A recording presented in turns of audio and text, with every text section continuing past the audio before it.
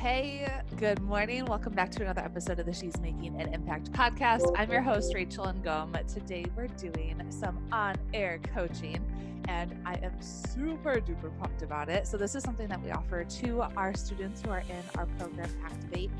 And this is just a really cool opportunity for me to give them some private coaching and some one on one time, and then for you to get to kind of sit in and listen and hear what that coaching is going to sound like. So if you want to apply for our next round of Activate, make sure to go to rachelngom.com forward slash activate. And we got Jill on. How's it going, Jill? I'm good. How are you? I'm good. Like I told you, I just woke up from a nap, so I might look kind of tired, but I'm all here. And this is what happens when you're nine months pregnant and you can't sleep and you wake up every five seconds to pee. And then, oh, my six year old is sharing a bed with me. this is a funny story. Um, so my husband's in Africa and my six year old is sleeping with me every every single night while he's gone basically. And i wake up at like four o'clock in the morning today and he's using my bum as a pillow and i'm like what are you doing? How did you end up sideways and how did you get all the way down there? That's that's mom life. Anyways okay so i'm here for you um how can i support you? Um yes well at the moment i just i'm launching a podcast Yay! and want to um have like I've got a, a plan of what I'm going to do. I've got episodes recorded and like it's my next month thing to actually launch it.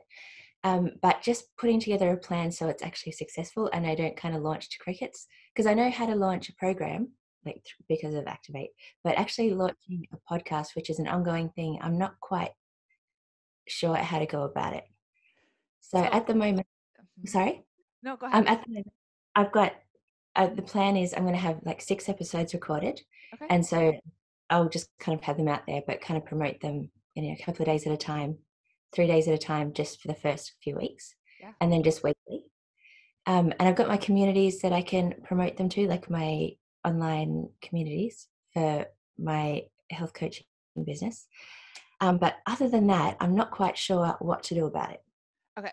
So in the beginning, you might not have like a ton of people listening, and that's okay. We're, I'll give you everything that I did when we launched our podcast. So we launched with three episodes. We had like an introduction episode. If you want to go back and listen to that, you can. It's not very good. Um, and then we had a Q and A, and then let's see, I interviewed Megan. Um, so it was fun.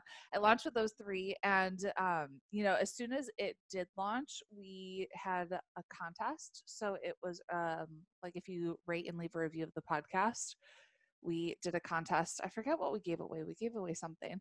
And so I would do something like that. And that's going to help you. The more people that you have downloading and the more people you have leaving a review, that will increase your odds of being on new and noteworthy in iTunes. And so you want as many of those as humanly possible. So I would include all the Activate students in that contest and see if they'll jump on and support you and leave you a review because it takes like 0.2 seconds. Um, yeah. Let's see. We had Lizzie was on our team at the time. So we had her create like Insta stories and that kind of stuff, actually showing how to leave a review on iTunes. And so, because a lot of people don't know how to do it or they don't do it right. And so, we actually gave them instructions on how to rate and review the show. And then we sent out emails letting people know, like, we're doing this contest. Um, so, that's kind of what you can do to get a ton of listeners right away. Um, that's what we did we launched it. Yeah, that's good. Um, so, with um like once I have actually launched it, I oh what I wanted to ask is with um with your promotions, like obviously at the end of an episode, you've like, we've got this challenge coming up. Mm-hmm. Um, do you, I have read about you can have um, little segments where it will change. Yeah, so, you could change all of those. So you can have like different promotions in your introduction so yeah. I literally, as I did this, I talked about Activate and how you can apply and get on the wait list and that kind of thing. You could do a mid roll. So we have mid rolls too. And so I literally just record something and then I send it to Lizzie and she keeps it in Google Drive. And when she's mm. editing it in um, GarageBand, I think is what she uses, then she'll just insert that into the episode and then you can do one at the end too. Yeah. Okay. Because I was thinking for my kind of end thing, like each time um, there's a podcast that I listen to, and she's like, "If you love this, come and join us in our, you know, with actual coaching course." Yeah. Um, so I'll do that, but just um, yeah, just trying to work out how to fit it in was just like in the I would do a mid roll, and that mid roll could be a call to action. Get on your email list and download your free thing, and Yeah. then at the end you could do a call to action and join the Facebook group if you want. Yeah. Because what I'm doing at the moment, like there are some where it's just me talking. Yeah. And there are other ones where I'm interviewing people, which is, you know, to get in front of their audiences as well. And just because, you know, to keep it interesting. Um yeah. I'm just yeah, I don't know. I so once I've got that launched, I've also got a um I've got two sides to my business, which you know, I've got the the health coaching side to it and the veg keto side to it. And I won't bring the veg keto side to the podcast as much. Okay. Um, I kind of feel that it might alienate people. Do you think that that is? I don't think it will. I think it'll bring in the right people. Yeah. Yeah. Okay. Never worry about alienating people by niching down. Yeah. Because I don't want it to be just about that either. And No. like the people, the people that I've like, it's quite broad at the moment, just the people I've been interviewing. Um, but I, yeah, I definitely don't want to alienate people. I think you're fine. I would have some I would have some specific veg keto episodes in there. Um, and the Mm. cool thing about iTunes and podcasting is it's a search engine. And so you can Yeah. use those terms like vegan keto and that kind of thing. And people Yeah. that mm. are searching for it will find it. So people search Pinterest marketing and they find us. Yeah. So with, I know that you use YouTube as well. Yep. How much of your podcast stuff goes to YouTube, or is it ever the same content, or how much of that is repurposed? All the interviews go there. And then if I do a solo episode, there are times I might do video too, and then that would go on YouTube. Yeah. But it's not every time because not every time I feel like doing video to go with it. I'm like, I just need to do a quick and dirty podcast. Um, and then I don't record video with it. So then it won't go on YouTube. Um, but if I record video with it, then it does. Yeah, because I've like oh, a lot of all my interviews have been Zoom calls, and so, but then I don't often. I look at myself and think, oh my gosh, I don't want anyone. I haven't really like prettied up to do any of that stuff. So Totally. just- so again, like with the solo episodes too, like I might do a solo episode and it might be on like five things about X, Y, and Z. So I might do the audio and then when I feel up to doing video that day, um, I might go back and record a few different videos. Um, that would be like the same or similar content but broken up into like three different pieces. yeah, yeah, that's good. Yeah. And then you don't have to be all. Uh, it doesn't have to be all together when you actually record it. No, you could just like let people know like this is a three part series. This is part one. We're talking about this. Yeah. Mm-hmm. Cool. Yeah, that's that's kind of like where I was at, just kind of wondering how to get it out there. So that's that's good. So you have um interviews that you're doing. So you're interviewing like other experts, that kind of thing. Yeah. Okay. So- So, so- what, Oh, sorry. Good. what I what I would do is make sure you have some really great social sharing images and Instagram stories and that kind of thing. And when you post it, tag them. Um, Yeah. and like tag them on Instagram, tag them on Facebook, tag them wherever it is that you're putting it, and um, email them and let them know, hey, your episode is live. Like we've gotten such great feedback already. Here are the links to share on social. Here's the link to email your list. You could even create like a little email for them to send to their list if they wanted to promote it. That's a good idea. It's really good. That's about all I've got at the moment, actually. That's all you've got? Like I just, I, when I ask the question, you just answer it so easily. A lot of Um, times people make like this big thing in their head of like this is a huge thing and then the answer is really simple. Like they Mm-hmm. overcomplicate it. Yeah. I've oh I'll tell you what's going on with me then since Yeah. all those been answered.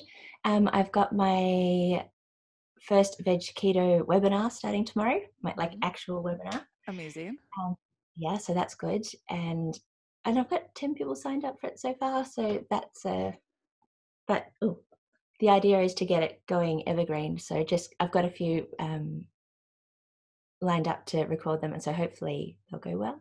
But I'm feeling really good about it and really um I don't know. I feel like the content's good. I feel like people are going to get a lot out of it. Yeah. And like I've tried webinars, a webinar in the past, like just really quickly before Christmas, just to play with Webinar Jam. And I felt a bit salesy and a bit weird, but I feel this time, like the second time around, I kind of pulled it in so I feel a bit more comfortable about it. So that's really cool. Yeah, I mean, the first time you do a webinar, it's it's, it's not the last, you know, like you got to keep practicing and practicing.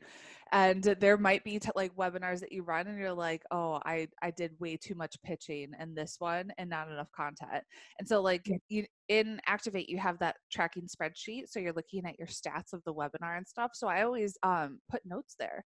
And so, like, I go back and look at my past webinars and I'm like, you pitched too early. Like, you went through the meat of the content too quickly, like, breezed over it. And so by the time I got to the pitch, we were only like a half an hour in. And it felt salesy because I felt like I didn't add enough value. But if you Yeah. add enough value beforehand, then it's like you earn the right to pitch because they need to know what their next step is going to be. Yeah.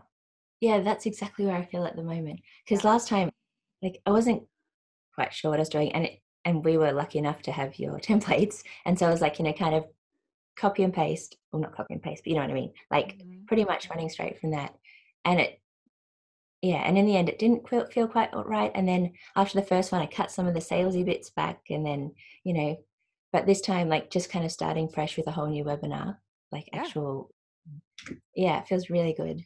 Yeah. I mean, the more you do it, the more comfortable you're going to feel, the more confident you're going to feel. That's why I tell everyone just go, like, get it done. It doesn't have to be perfect. Um, And you'll always just make it better. And every time you do it, you're going to get better and more confident. Yeah. Yeah. So what I've been doing is last time I did it, I tried in Webinar Jam. Yeah. And like just did a 14 day trial and then like cancelled it because I was going away for a month. Yeah. Um, and then looking at it this time, it's like just looking at other options of what how how I could put it out there because I do want to do it evergreen, hmm but I've um, been doing it through Zoom. Okay. I'm going to do it through Zoom just because I found it was just a bit cheaper to do it that way. Mhm. Um, but then once I've recorded it, I think I'll take it back over to Ever Webinar. Is the plan at the moment? Yeah. So, That's, i mean, I think it's the best platform for sure. Does, uh, do you know if Kartra does evergreen webinars now? I'm not sure. That might be something Maybe- to look into because we were thinking about switching over at some point. Um, it didn't make sense now because we already paid for like ClickFunnels and Active Campaign and all that stuff for the entire year, like upfront. Um, Yeah. But if they do evergreen webinars and that kind of thing, it might be looking a good thing to look into because I believe it's only a hundred bucks a month and you do it has like everything. Yeah, because I think I read that ClickFunnels also does webinars now. Does that sound right? Uh, Might be clunky. it's probably super clunky if it, they do. Um, I remember like trying to put our courses in there because they have a place where you can add your courses, and it was like a hot mess. Um, Yeah. So if yeah, I I wouldn't. Yeah, yeah. I think probably Ever Webinar will be the way to go. It just like trying to find the right software to consolidate as much as I can. If they, For sure. Look into Kartra and see if they have ever like evergreen webinar features. And if they do, that's going to be like the number one place where you can consolidate as much as possible because they really do have like everything in one.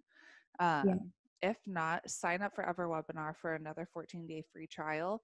And I believe if you cancel and you don't continue, they'll email you an offer code to get it cheaper. Yeah, um, I because I went back to Webinar Jam again recently, and they I think it was maybe a month for a dollar or something if you went back. So I'm not sure what the deal will be, but They have something. They have something. So it's worth it signing up for the 14 day free trial, canceling, and then seeing what they offer you. Yeah. Yeah. So yeah, it's all going good. I feel like it's moving forward. So know. It's so exciting to see how far you've come. yeah, What else? What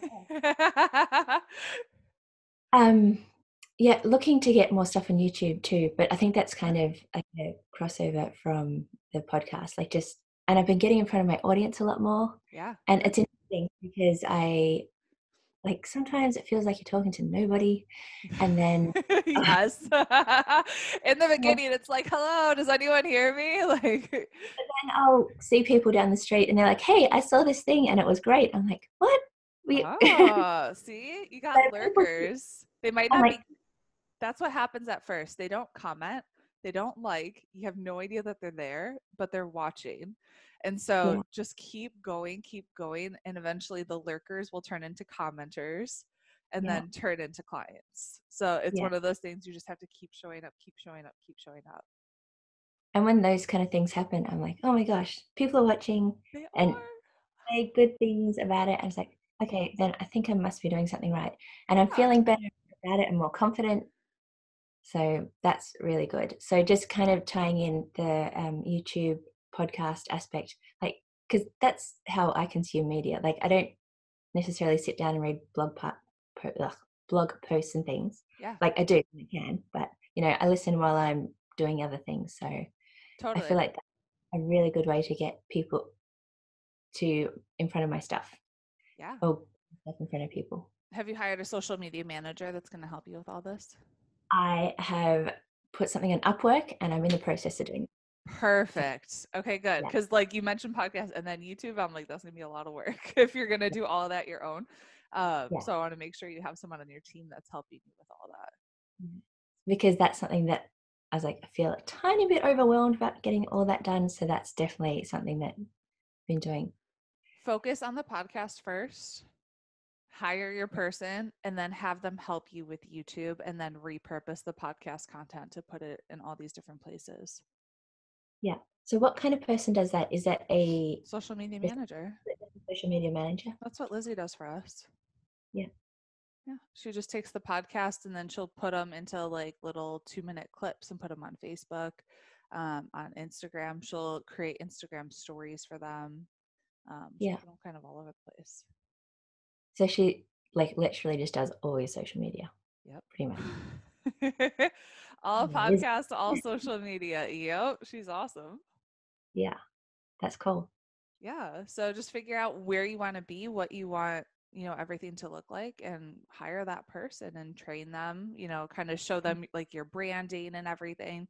Um, at first, they're not going to get it right, and so just give them feedback, and then like work closely together in the beginning and now Lizzie's so independent. She's just like doing her own thing. She knows what she needs to do. Um, she voxes me if she has any questions, but she's been with us for like two years. So she knows our style, our brand. She knows my voice. Like, yeah. Yeah. so, how much of the design element did she do at the start? Like, did you have a visual design prepared to kind of she knew what... our brand colors and she saw like our website and that kind of thing and in the beginning the first couple like instagram pictures and stories that she made i was like ooh that's not that's not like my style at all. So i gave her feedback like you mm. cannot expect someone to join your team and then know exactly like they're not inside your head you know they don't know what you're thinking and so you just have to tell them like okay i love this this part's really good let's change this so it looks a little more like this and just show them examples like in the beginning you have to hold their hand a little bit but now she knows it enough where she just runs with it yeah and so, how much contact do you have, like, to start with? Would you have with somebody like that? I would do, gosh. So I always think of John Maxwell um, when he talks about like leadership training. So in the beginning, I do it, you watch, mm-hmm. then we do it together, then you do it, I watch, then you do it and you teach someone else. And yeah. so in the beginning, they might be like shadowing you to see what you're doing and then you might be kind of holding hands and she'll be you know doing her thing but sending you stuff and maybe you're giving her like daily reports or that kind of thing or you're talking on voxer and you set up like a weekly zoom or something like that but then mm. pretty soon after they really understand like the workflow and everything that's going on then they run yeah because i just kind of imagine that when i do get my magical lizzie um that i will like i understand the show except I don't like being able to do all the stuff. I don't have the skills to do all the stuff. So what how would I show them or would be Can you show them examples? And Yeah. Lizzie created a process street for all of our Activate students where it's like what she does with our social media, like to create the Insta stories and repurposing content. So what she showed at the event. Yeah, So you could cool. take that and hand it off to them. Yeah, that's a good idea. Yeah. Yeah. What else? Oh, I'm getting so hot. This is when you're nine months pregnant and you're just like, okay. Yeah, that that's they're just my big things at the moment. Like they're just especially like the webinar, I'm pretty excited to get that out there. yeah, that's super exciting. Yeah so just getting all that rolling. I I feel like like all the pieces are kind of there. I just need to but I think hiring people is definitely the thing that I need to really get onto more. Yeah. Because and I've been making an effort to like shut my computer at three o'clock, like when I pick my kids up from school. That's my Mhm. thing this year. Perfect. I love that. So it, it makes me more productive in the morning. Yeah. Or during the day, but um, yeah, it's been good, and my I haven't been feeling as overwhelmed by everything, and I think I've still been getting as much done. You do. It's crazy. Like you'll whatever you have to do, it'll like expand to how much time you allow it. So if you give yourself 3 hours to write a blog post, it'll take you 3 hours. If you give yourself half an hour, it'll take you half an hour. Like you just got to sit down and make it happen. And I love that you're stopping work at 3. Like Yeah. that's amazing. Because balance has been such a big thing. Like I've just Mhm. Feel like I've been working and working and working, and then it's like, is it worth it? And sometimes if they, you know, there isn't as much money coming in, like if I still have that space and the balance in life, then it, it's fine, Yeah. you know. But that's all I have, then it just does my head in. Yeah. Yeah. Are you taking weekends off or at least one day over the weekend? Yeah. Good. Good. It's Yeah. it's so crazy. Like before you're like working, working, working like crazy. And then when you realize you can't take time off and no one dies, it's like, oh, I should do this Yeah. more often. I was away for a month over Christmas and that like still keeping things kind of running and I could have had them running better and I came back and like oh yeah I didn't really launch it over that month or anything so I don't have like new people coming in but then if I had a team then hopefully more of that would be able to keep going on its own if you had a team and you had an evergreen webinar and a system that's driving traffic to it, then you would be getting new clients. And so like you're so close. You're at the cusp of having those systems in place. Like this Yeah. is like 3 to 6 months down the road where you will be able to take a month off and still have new clients come in. yeah well that's definitely the plan but it feels like all the pieces are there and it's so close Yay! Exciting. I'm so proud of you. yeah I'm pretty happy about how it's all going at the moment actually Yay. Cool. Well, where can we connect with you, learn more about you? Sure. Um, well, hopefully very soon the Fit Chick Health Coach podcast will be out there. So if Woohoo. you, if anyone's listening for that, um, the Fit Chick healthcoach.com is my website and I've got a freebie there for meal prepping, which is great because I know that so many of us are so busy Yes. um, and it's just set yourself up to succeed for the week. Um, I've also got easyvegketo.com where I have got a another freebie on there, which is a vegetarian keto food list. And I'm on Facebook as well and Instagram and all those things. Cool. Well, thanks for being on the podcast, Jill. I adore you, and it's I'm so proud of you and how far you've come. So keep crushing it. Awesome. Thank you so much for having me.